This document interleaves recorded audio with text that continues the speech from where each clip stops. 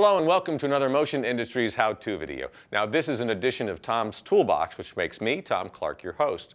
You know, it's a fact that static discharge incidents can cost thousands to millions of dollars, and not to mention the possibility of bodily harm.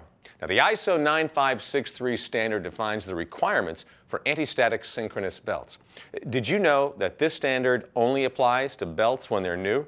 I mean, as soon as the belts are in use, their anti-static properties decrease, sometimes dramatically, leading to potential safety risks in volatile, explosive, or electronically sensitive environments.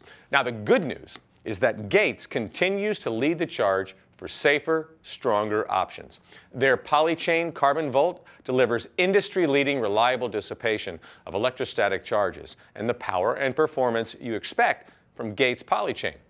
Gates Poly Chain Carbon Volt belts maintain static conductivity to ISO 9563 levels many times longer than the competition, resulting in increased safety, lower risk, and greater peace of mind.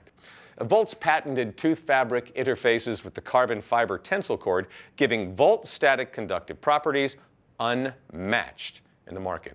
Static electricity is serious business, so I want to remind you to always make sure that you have on the proper PPE for whatever the job requires. Now, we're not installing drives or performing maintenance today, but if we were, I'd be wearing the appropriate safety gear, as I said, for whatever the job calls for. Hey, thanks for tuning into this edition of Tom's Toolbox. Hopefully this will help you with your practical application. Be on the lookout for more of Tom's Toolbox videos with yours truly, Tom Clark, as your host. We'll catch you next time.